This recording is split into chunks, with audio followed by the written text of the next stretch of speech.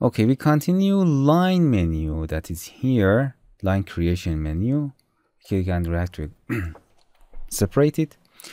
We reach to create line vertical to C-plane. If we go into the perspective, this is our C-plane. I will explain you how to change your C-plane, but this is C-plane in a Rhino.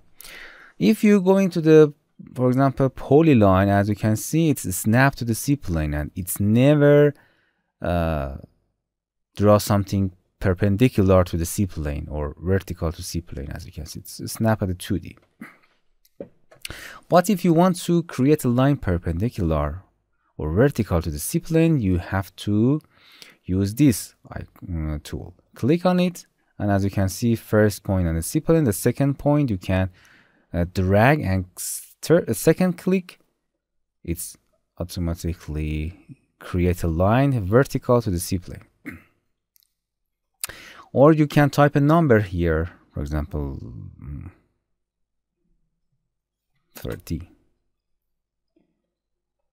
Any number that you can type.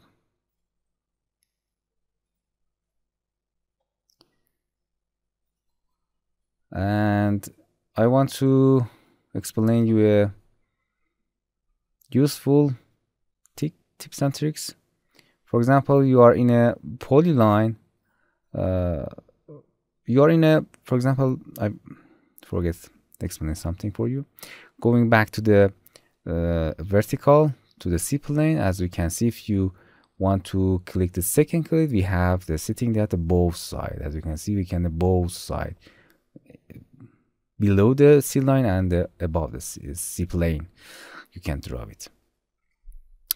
Going to the polyline, when you are clicking and drawing a polyline, if you want to from here going up, what can I do? Can you? It, we have nothing in, in settings to uh, draw perpendicularly. Holding control, hold control back to the that point, hold control and click and release control and drag as you can see you can draw a perpendicular line. The second click you can uh, create your line. And as you can see the polyline will be continue its way to any direction that you want. But it automatically snap to its origin that is C plane okay. So with it uh, with this tricks you can create a vertical line when you are drawing a polyline. Again, click, click, hold back to your previous point, hold control and click. And release your control and continue your way. And it's, as you can see, create a vertical at that point that you hold control on it. And that is when you right click on that from now, you can click and drag on the both sides.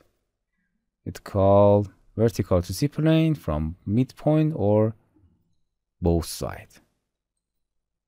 This is the settings here, okay?